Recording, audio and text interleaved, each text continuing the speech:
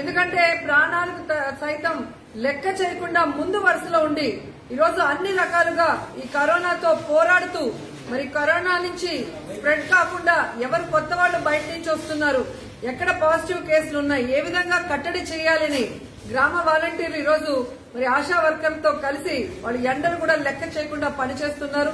And ఏ నమ్మకంతో అయితే జగన్మోహన్ రెడ్డి గారు ఈ గ్రామ వాలంటీర్ల వ్యవస్థ తీసుకొచ్చారో ఇంత పెద్ద విపత్తు సమయంలో వారు జగన్మోహన్ రెడ్డి గారిని నమ్మకాన్ని నిలబెడుతూ ఎంతో ఓర్పుగా ఎంతో ధైర్యంగా మరి పనిచేస్తూ అటు కుటుంబాన్ని చూసుకుంటూ ఇటు మన ప్రాణాలు కూడా వాళ్ళు కాపాడుతున్నారు. సో నా నియోజకవర్గంలో దాదాపుగా వెయ్యి మూడు వందల మంది గ్రామ వాలంటీర్లు ఉన్నారు. సో మా నగిరి నియోజకవర్గ ప్రాణాలు కాపాడడం కోసం వాళ్ళు ఎంతో కష్టపడి పనిచేస్తున్నారు. సో నా వంతు సహాయంగా ఒక ఎమ్మెల్యేగా మరి వారందరికీ కూడా నిత్యావసర వస్తువులు అలాగే ఫ్రూట్స్ కోడిగుడ్లు అన్ని కూడా ఇస్తున్నాను. ఎందుకంటే వాళ్ళు ఆరోగ్యంగా ఉండాలి. మన ఆరోగ్యాలు కాపాడుతున్న వారి కుటుంబ సభ్యులు కూడా బాగుండాలన్న ఒక చిత్తశుద్దితో మరి ఈ పని చేస్తున్నాను ఈరోజు జగన్మోహన్ రెడ్డి గారు చూస్తే ఒక బాధ్యత కలిగిన ముఖ్యమంత్రిగా ఈ కరోనాని కట్టడి చేయడంలో గాని కరోనాని కనిపెట్టడంలో గాని అలాగే ఈ కరోనా సమయంలో ప్రజలకు ఇబ్బంది లేకుండా వారికి బియ్యము పెన్షన్లు డబ్బులు చివరికి మీరు చూస్తే వడ్డీ లేని రుణాలను కూడా ఈ రోజు ఇరవై నాలుగో తేదీ ఇవ్వబోతున్నారు అంటే అందరూ కూడా సభాష్ అంటున్నారు. ఎందుకంటే చంద్రబాబు నాయుడు తన యొక్క చేతగాని తనంతో రోజు రాష్ట్రాన్ని మూడున్నర లక్షల కోట్లలో ముంచేసిపోయిన జగన్మోహన్ రెడ్డి గారు ఈ రోజు ఎంత కష్టం వచ్చినా కష్టాన్ని సహిస్తూ పేదవాడికి మాత్రం ఆకలి తీర్చాలి పేదవాడికి రక్షణ కల్పించాలి అన్న ఉద్దేశంతో ముందుకు వెళ్తున్నారు. అండ్ ఈరోజు చంద్రబాబు నాయుడు అంటున్నాడు జగన్మోహన్ రెడ్డి గారికి సలహాలు ఇస్తాను అఖిలపక్ష మీటింగ్ పెట్టండి అని. ఈ రోజు నీ ఇంట్లో ఉన్న కొడుక్కి నువ్వు సలహా ఇవ్వలేకపోతున్నావు. తినింది అరక్క బలిసి ఈరోజు సైక్లింగ్ చేస్తున్నాడు మాస్క్ లేకుండా ఈరోజు గ్లౌజెస్ లేకుండా ఆఖరికి చిన్న పిల్లల్ని బయటకు తీసుకెళ్ళకూడదంటే నీ మనవాడిని కూడా పదేళ్ళ పిల్లోని లోపల ఉన్న పిల్లోని బయట తిప్పుతుంటే వాళ్ళకి నువ్వు సలహాలు ఇవ్వలేవు గాని ఈరోజు దేశమంతా కూడా సభాష్ అంటున్న జగన్మోహన్ రెడ్డికి నువ్వు సలహాలు ఇస్తావా?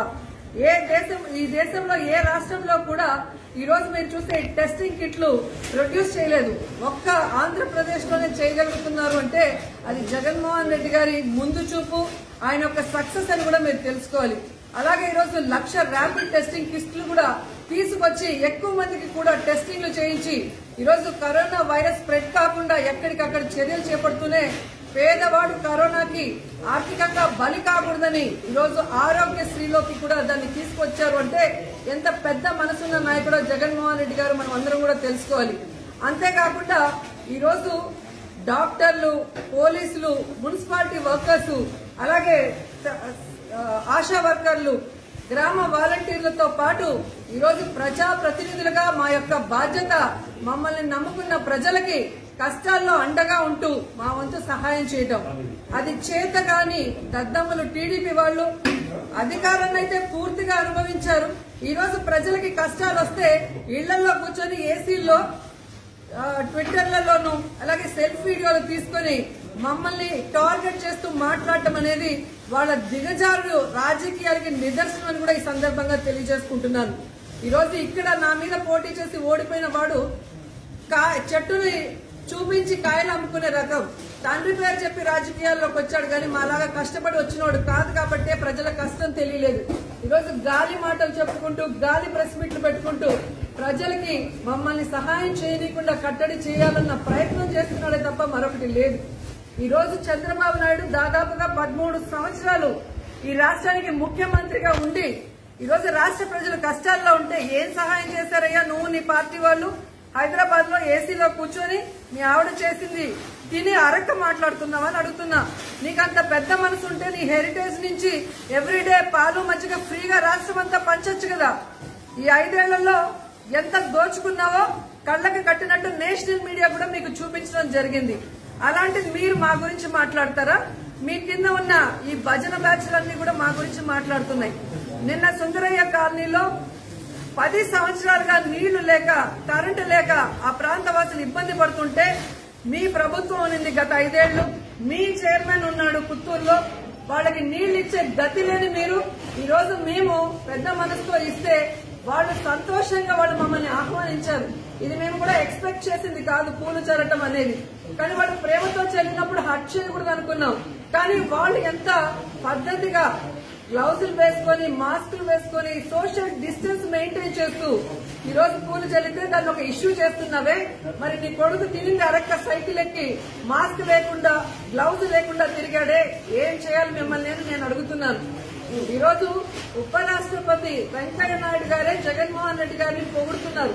చిన్న వయసులో పెద్ద మనసుతో పనిచేస్తున్నాడని అలాంటి నాయకుడి నాయకత్వంలో పనిచేస్తున్న మేము ఆయన ఇన్స్పిరేషన్గా తీసుకుని మమ్మల్ని గెలిపించిన నగిరి ప్రజలకి మా మీద నమ్మకంతో సీట్ ఇచ్చి గెలిపించుకున్న జగన్మోహన్ రెడ్డి గారికి మంచి పేరు వచ్చే విధంగా మేము పనిచేస్తుంటే మా మీద బురద చల్లాలనుకోవడం మీ దిగజారుడితనం. మీ తాటాకు చప్పులకు భయపడే వాళ్ళు ఇక్కడ లేరని తెలియజేసుకుంటూ మా గ్రామ వాలంటీర్లు అలాగే మా అఫీషియల్స్ ఎవరైతే ఉన్నారో అందరూ కూడా వాళ్ళని కాపాడుకోవాల్సిన బాధ్యత ఒక ప్రజాప్రతినిధిగా నాకు ఉంది కాబట్టి నేను నా వల్లైన సహాయాన్ని చేస్తున్నానే తప్ప ఎవరిని మోసం చేయలేదన్న విషయాన్ని కూడా మీరు తెలుసుకొని మీకు మీ తండ్రుల ఆస్తిలో లేదా వెన్నుపోటు పొడిచిన ఆస్తిలో ఉంటే తిని కూర్చోండి లేకపోతే సైలెంట్గా ఉండండి కానీ సోషల్ మీడియా ఉంది కదా యూట్యూబ్ ఉంది కదా అని పిచ్చి పిచ్చి కామెంట్లు వేస్తే తాట తీస్తారని చెప్తున్నారు అయితే ఓ లైక్ వేసుకోండి లేదంటే ఓ కామెంట్ చేయండి.